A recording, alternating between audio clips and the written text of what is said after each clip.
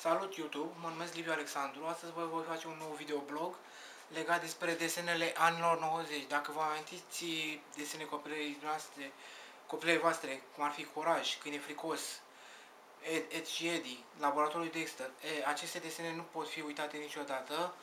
Veți afla că sunt cele mai frumoase desene, eu le ador foarte mult și regret aceste desene, sunt foarte frumoase, dar pe lângă acestea au și niște teorii foarte înfricoșătoare.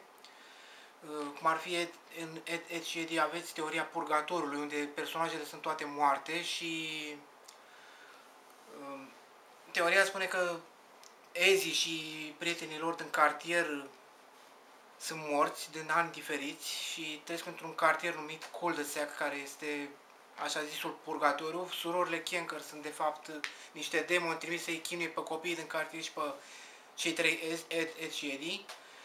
Um, Curaj câine fricos uh, este cel mai grozav desen animat, este și acesta plin de fel de teorii. Uh, se spune cea că um, în acest desen uh, teoria este că câinele ar, n-ar fi fost scos niciodată de de proprii săi stăpâni că sunt foarte bătrâni, el crede că zona unde stă el este în pustiu. Ce faci? Jump cut? Oh.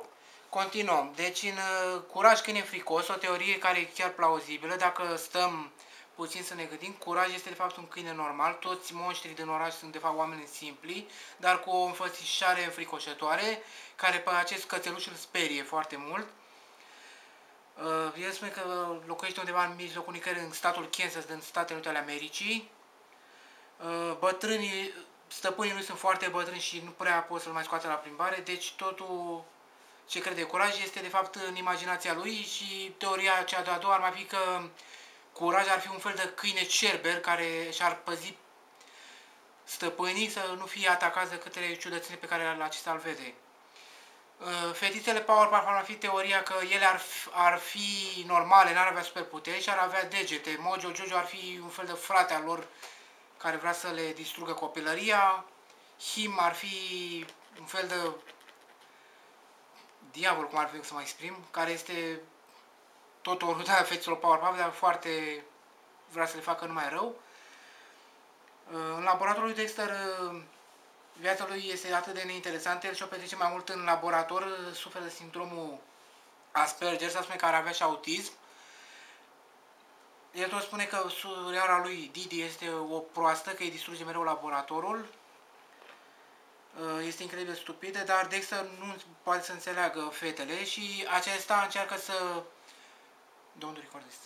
Uh, Didi încearcă să distrugă laboratorul pentru a nu distruge lumea. Dexter cu știința foarte avansată. În continuare vom vorbi și de desenele moderne care sunt foarte, nu chiar grozave, de exemplu, generația anilor 90 și 80 a fost cea mai frumoasă generație unde întâlnim multe desene, cum ar fi Scooby-Doo, Peter Pan, Mica Sirenă, Aladdin, uh, cei trei purceluși, lupul, uh, ce mai putem găsi, Scufița Roșie și multe alte desene frumoase ale copilării noastre, Sandy Bell, care este o frumusețe de anime din anii 70, dar ce pot să spun de desenele moderne sunt chiar groaznice, nu-mi plac, grafică groaznică, acum s-a băgat o felul de desene mai noi care mie nu-mi plac.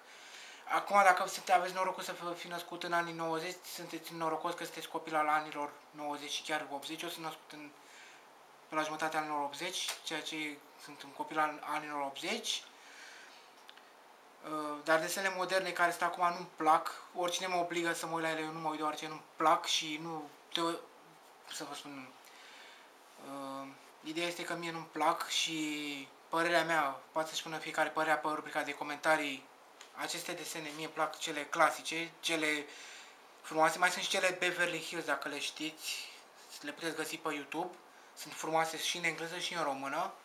Și eu doar aceste desene pentru că sunt frumoase, sunt ale anilor 80-90 și în anul 2004 ceva stupid s-a întâmplat cu Cartoon Network când acesta a fost schimbat și schimbate și angajații și chiar și sigla lui Cartoon. Desene cum ar fi Insula Drame Totale, un, un show obișnuit, sunt mulți care le place, mie însă nu-mi place, este chiar mai caricaturi, vreau să spun.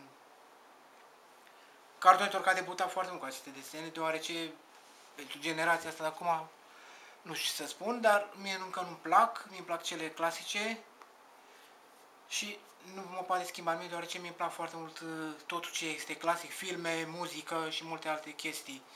Puteți uh, intra pe canalul fetei It's Anca, e o tipă foarte super, face și ea vloguri despre desene, copilărie și alte chestii. Vă recomand canalul, puteți să intrați, o să las uh, linkul fetei în descriere.